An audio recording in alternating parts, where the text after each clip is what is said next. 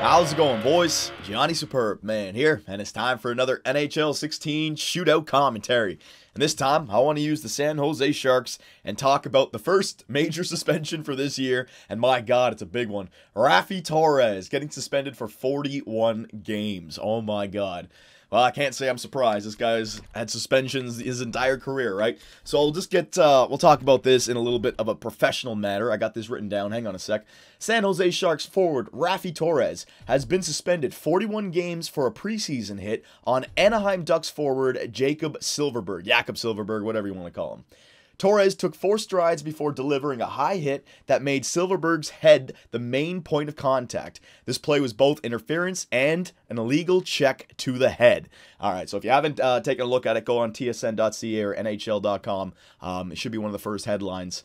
Raffi Torres is already going to miss half the season. And a guy like that, this literally could be the end of his career, you know? Probably not, but eh, tough guys, all these suspensions.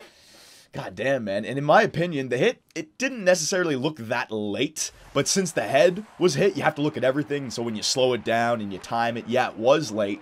But had it been a shoulder to shoulder check, I think, you know, Silverberg pops back up and, you know, maybe at the worst, it's a two minute interference penalty. The reason it is what it is is because of Torres' history and the fact that the shoulder came up and hit his head, right? So we'll talk about this a little bit afterwards. I want to get into this, but uh, I want to focus on the shootout as well because I want to pull off that new deke, all right? Uh, some people were saying to call it the Houdini. The reacher. Oh, come on, Tomas Hertl. You're gonna, you're gonna, uh, Martin Biron. Yeah, yeah. You got that sweet looking goal on uh, Martin Biron. Was it Biron? Matthew Biron? Martin Biron. Oh shit, I can't even remember that name. The backup for the New York Rangers. Made him retire. And you can't even hit the net for me. What do you got for me? What do you got for me? Oh, shit, you got me going the wrong way. Nice goal there, buddy. James Van Riemsdyk. It's really like, you, you got to choose in this. Martin Jones goes fishing. Comes up empty. JVR. Sliding on the ice. All right, Joe Pavelski, the newly named captain of the San Jose Sharks. Here we go. Here we go. The reach around. Oh, bingo! There. Ah! Oh! I'm on my forehand and I couldn't roof it? You gotta be shitting me.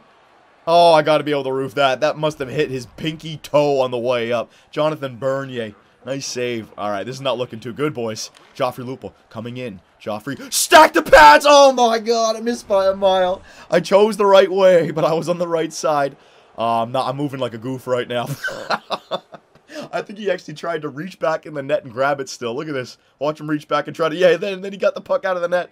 All right, what's the score? I got to get a goal here. Oh, man, this is not good. I'm going to try the move, boys. I'm going to try the Houdini. Oh.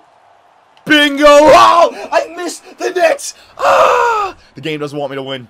It's just not going well right here in San Jose. I tried the Houdini right there. And once again, missed the net with Patrick Marleau, missed the net with Tomas Hertl. Hit freaking the pinky toe of Jonathan Bernier. And here comes Kadri flying! Oh, for fuck's sake! Such horseshit. Nothing go. Okay, I was just meant to lose this one the Toronto Maple Leafs hand it to the San Jose Sharks. See what you've done, Raffi Torres? We're thinking about you right now instead of thinking about the Toronto Maple Leafs. We took them lightly, and they just come in there and beat our asses. I took away the bottom. How does that find a way through? Oh, what the hell. All right, so we'll get back into this about uh, Raffi Torres, right? Now, 41 games is a long time for a suspension, especially for a guy like that. Like I said, he may not get a chance to play again. Maybe San Jose, they find another player to fill that role, and they just never need him again, right? So, how did that go in? For God's sakes. It's a long time for a suspension, but it's Torres' history that's forced the hand here. I mean, he's already been suspended for hitting Jarrett Stoll, uh, Jordan Eberle, Nate Prosser, Marian Hossa, now Jakob Silverberg. He's also been warned twice for illegal hits, and fined three times. Put it like this, guys. Raffi Torres has played 703 games in his NHL career, and during that time, he has been either warned, fined, or suspended a total of nine times, all right? This is the new rules in the CBA. You get uh, extended uh, uh, reprimands for a history, and Torres has that. He's got a huge history. So, you know, you look at the hit, like I said, I don't think it was that late. He definitely targeted the head, and based off the history of Raffi Torres, the NHL has made a decision, and you know what? I agree with that decision. You can't have goofballs like Raffi Torres injuring star players like like Eberle and Marian Hossa.